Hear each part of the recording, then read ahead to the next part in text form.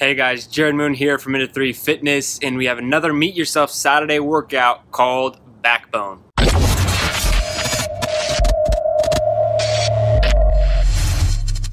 This workout is very simple, but it is not easy. What you'll be doing is 5,000 meters worth of rowing or running, your choice, but it's broken into 1,000 meter intervals. So what you're going to do is row 1,000 meters at your fastest sustainable pace or run 1,000 meters at your fastest sustainable pace. You're going to rest two minutes and then you're going to repeat that four more times, five times in total for 5,000 meters. Now the real reason this workout is called backbone is not because of how challenging the 1,000 meters is going to be and how hard you should push yourself on those. The real reason it's called backbone is because at the very end of the workout, after all rowing or running is complete, you're to do 50 thrusters. And you're to do 50 thrusters at 135 pounds or you're to scale down from there.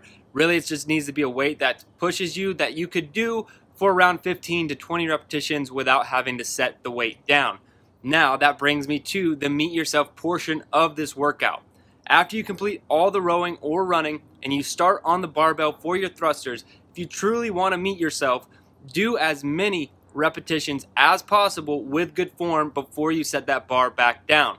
Maybe that'll be 20, maybe that'll be 30 repetitions. For some of you, that might be the full 50. But I like for you to challenge yourself on that first set. If you need to set it down, do so. Just complete the 50 repetitions. But I do challenge you to really meet yourself on that set of thrusters. All right, guys, that's it for this one. Have fun with it, but meet yourself this Saturday.